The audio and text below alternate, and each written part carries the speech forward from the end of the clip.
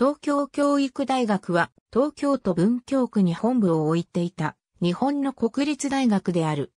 1949年に設置され、1978年に廃止された。大学の略称は東京京大、東京大、教育大。1978年に閉学し、筑波大学の母体となった。同窓会は、病警会である。その名称から、教員養成を目的にした大学と誤解されやすいが、文学部、理学部、教育学部、体育学部、農学部からなる総合大学であった。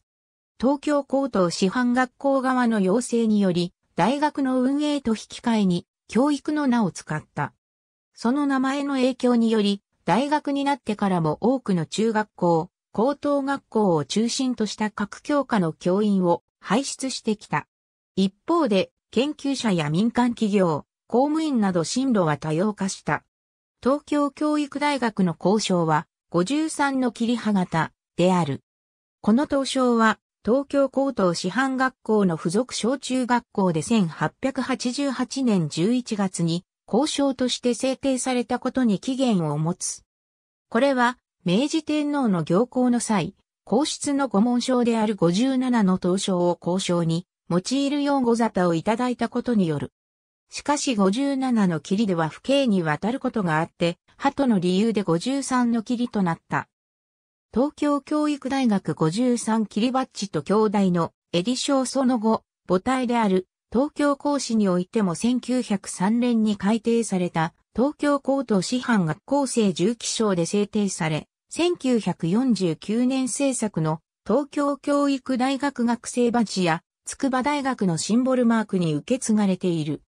キリモンと呼ばれる図形は、吉家紋章と並んで、日本国の伝統的な紋章及び国章として用いられているが、同学の交渉は、花の部分のみ、影で表現される独特なものである。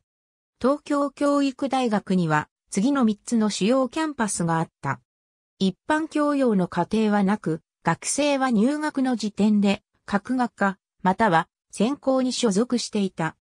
東京教育大学の付属学校は、師範学校と同時に創設された付属省、東京高等師範学校時代に創設された付属中、高とそれら以外の戦後に設立、編入された各学校に分けられる。いずれも東京教育大学の閉学に伴い、筑波大学に移管された。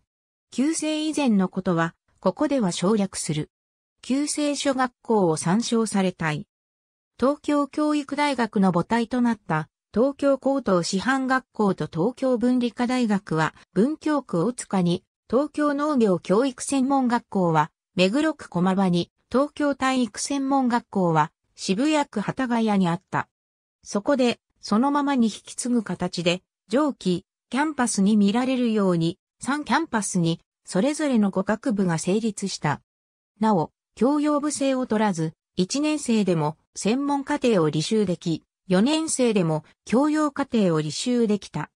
筑波大学発足後は、東京教育大学が管理していたコーチは、次のように変化している。ありがとうございます。